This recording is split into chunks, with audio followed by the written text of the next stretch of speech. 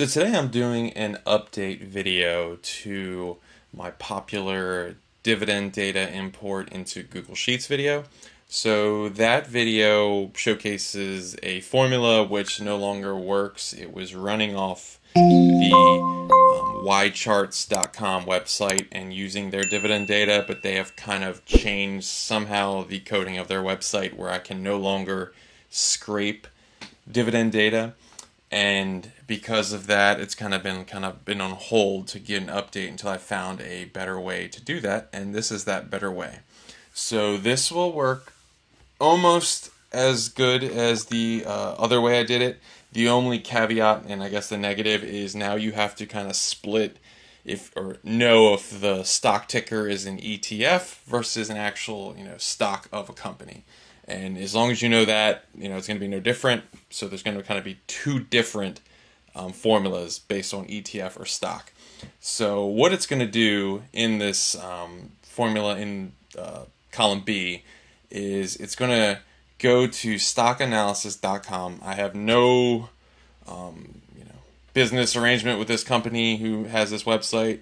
Uh, I don't, you know, get any sort of financial gain from using this website.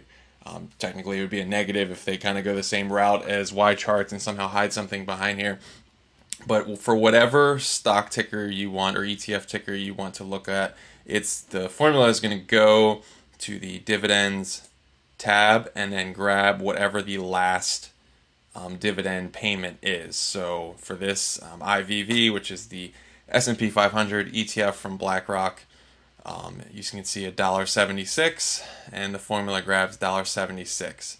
So same for a stock. I just picked uh, 3M.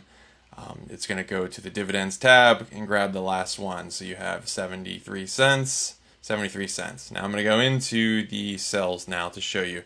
Um, you won't have to type out, you know, what you see here and follow along. I got these formulas in the, uh, the description down below.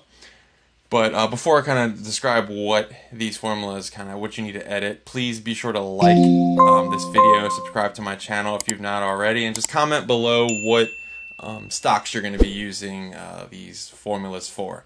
So for these top three right here, um, the IVV, SPY, and SGov, these are all ETFs. I just picked a few.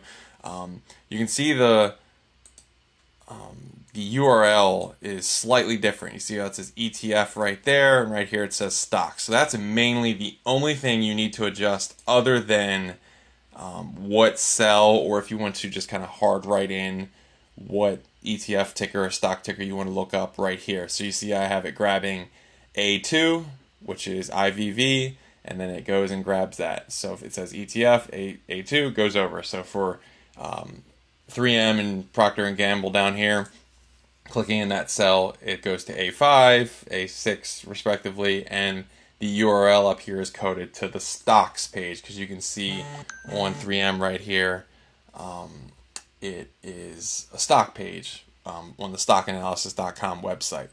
But that is kind of how simple it is now to grab dividends. This will work as long, you know, as the stockanalysis.com website allows kind of a screen scrape type deal of going to the table and grabbing that data. If there is no data, it will present the words no data in uh, the dividend um, spot. So mostly you'll see that for companies that you know have never posted a, a, a, any sort of dividend. So instead of showing zeros, it'll show no data, so you can know that.